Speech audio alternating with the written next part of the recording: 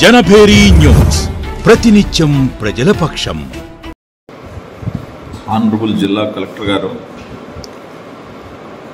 నిన్న మీటింగ్ పెట్టి ఈరోజు కూడా టెలికాన్ఫరెన్స్ ఇచ్చి ఇన్స్ట్రక్షన్స్ టోటల్ శానిటేషన్ మీద ప్రతి గ్రామంలో కూడా డ్రైన్ సిల్ట్ క్లీన్ చేయటం కానీ లెగసీ డమ్స్ రిమూవ్ చేయటం కానీ తర్వాత water chlorination water tanks clean చేయటం కానీ ఓహెచ్ఎస్ఆర్ వాటర్ క్లోరినేషన్ ఎక్కడ ఆ సమపాలలో కలపటం కానీ లేకపోతే ఎక్కడెక్కడ వాటర్ స్టాగ్నేషన్ అయి ఉంటే వాటిని క్లియర్ ఆఫ్ చేయటం కానీ అక్కడ దోమలు అవన్నీ ఏర్పడకుండా ఏం చేయాలో టోటల్ శానిటేషన్ ప్రోగ్రాంలో అట్లనే వెట్ వేస్ట్ డ్రై వేస్ట్ ఇవన్నీ క్లియర్ చేసి రాబోయే మూడు నాలుగు నెలలు ఎక్కడ కూడా మన మంగళూరు మండలం సంబంధించిన గ్రామాల్లో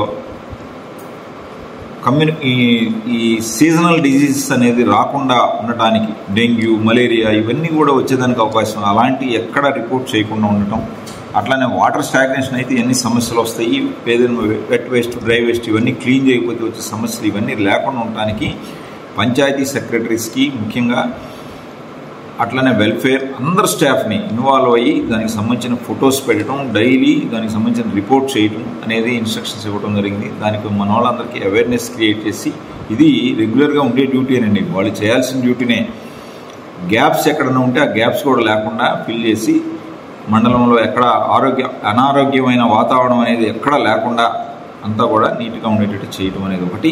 దీని మీద ఆనరబుల్ జిల్లా కలెక్టర్ గారు కూడా రేపు మండలం లెవెల్లో జగనన్నకు చెబుదాం. స్పందన ప్రోగ్రాం కూడా జరుగుతుంది. వచ్చినప్పుడు కూడా సార్ సడన్ ఇన్స్పెక్షన్లు కూడా చేయొచ్చు. అందువల్ల అందరూ కూడా అలర్ట్గా ఉండి చేయండి అని చెప్పడం జరిగింది ఒకటి.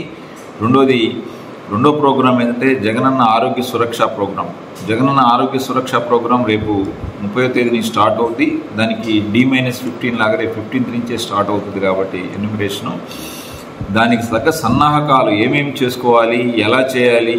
అల్టిమేట్గా ఏంటంటే ప్రభుత్వానికి సంబంధించిన హాస్పిటల్స్లో కానీ డాక్టర్స్ కానీ స్టాఫ్ కానీ మెడిసిన్ కానీ అన్నీ కూడా గవర్నమెంట్ అందుబాటులో ఉంచడం జరిగింది.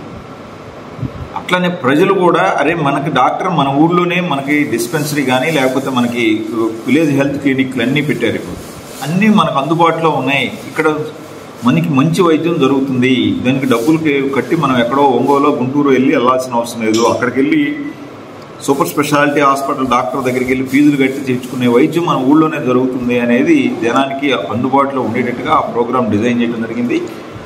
అది పెద్ద ఎత్తున గ్రామంలో ఉన్న అందరికీ ప్రజానికానికి అందరికీ తెలియజేసి వాళ్ళకి ఏమేమి ఎలిమెంట్స్ ఉన్నాయో అవన్నీ నోటిఫై నోట్ చేసుకొని వాటికి సంబంధించిన ట్రీట్మెంట్ కానీ మెడిసిన్ కానీ ఇచ్చేటట్టుగా దానికి తగ్గట్టుగా ఎలా చేయాలి ఏందనేది కూడా చెప్పడం జరిగింది. రెండో విషయం ఇదండి. మూడో విషయం జీఈఆర్ గ్రాస్ ఎన్రోల్మెంట్ రేషియో అంటే ఐదు నుంచి పదిహేను పద్దెనిమిది సంవత్సరాల లోపల పిల్లలందరూ కూడా ఆ గ్రామానికి సంబంధించిన ఆ సచివాలయానికి సంబంధించిన పిల్లలందరూ కూడా అంటే బడీయుడు పిల్లలందరూ కూడా స్కూల్లో or college school or college polytechnic or ITI ఎక్కడో చోట ఎన్రోల్ అయి ఉండాలి. వాలంటరీ యాప్లో ఉన్న ఈ డేటాకి చైల్డ్ ఇన్ఫోలో ఉన్న డేటా టాలీ కావాలి. డిఫరెన్స్ ఏదైనా ఉంటే ఆ పేర్లు ఎక్కడున్నారు వాళ్ళు అవుట్ ఆఫ్ స్టేట్లో ఉన్నారా? ఏ కారణం వలన చదువు మానేశారా? కనుక్కొని వాళ్ళను కూడా చదువు మానేసిన వాళ్ళు కూడా చదువు తీసి చదువుకోవడానికి కూడా గవర్నమెంట్ ఏర్పాట్లు చేయడం జరిగింది. ఆ విధంగా వాళ్ళకి వాళ్ళని కూడా ఐడెంటిఫై చేసి ప్రతి ఒక్క పిల్లాడు అనే ఆ పాప కానీ బాబు కానీ వాళ్ళని స్కూల్లో ఎక్కడున్నారు gross enrolment ratio hundred percent వచ్చేటట్టుగా అది సచివాలయం ముందు వాలంటీర్ సచివాలయం మండల్ డిస్ట్రిక్ట్ వచ్చేటట్టుగా బ్యాడ్జెస్ వచ్చేటట్టుగా దానికి సంబంధించిన ఇన్స్ట్రక్షన్స్ ఇవ్వడం జరిగింది. దానికి హెచ్ఎంస్ తోటి మీటింగ్ పెట్టడం జరిగింది. వాళ్ళని కూడా చెక్ చేసి వాళ్ళు హండ్రెడ్ పర్సెంట్ అయినట్టుగా చెక్ చేసుకొని సర్టిఫికేట్ ఇవ్వమంటం జరిగింది. మనం అట్లనే వెల్ఫేర్ సెక్రటరీస్ కూడా చెప్పడం జరిగింది. దీని విషయం మీద వాళ్ళు చేయాల్సిన పని కూడా. ఇది కాకుండా మనకి ఇంకొకటి. స్పందన వస్తున్నాయి. స్పందనలో ప్రతి వారం మండే మండే స్పందన జిల్లాలో దొరుకుతుంది జగనన్నకు జేకేసీ చెబుదాం జేకేసీ అని చెప్పి జగనన్నకు చెబుదామని కూడా ఉంది పోర్టల్. అవి ఎవరైనా గ్రీవెన్స్ రిడ్రెస్ చేస్తే దానికి ఏ కేడర్లో అయినా ఏ డిపార్ట్మెంట్ అయినా ప్రాపర్గా ఆన్సర్ కరెక్ట్గా వాళ్ళు అడిగిన దానికి గవర్నమెంట్ రూల్స్ ప్రకారంగా ఏమి నిబంధనల మేరకు ఏమి చేయగలము అది ఈ విత్ ఇన్ టైంలో వాళ్ళకి చెప్పి వాళ్ళకి ఇన్స్పెక్ట్ చేసి వాళ్ళతో డిస్కస్ చేసి వాళ్ళకి చెప్పి వాళ్ళ సంతకం తీసుకుని ఫోటో తీసుకుని అప్లోడ్ చేసి చేయాల్సిన అవసరం ఉంది.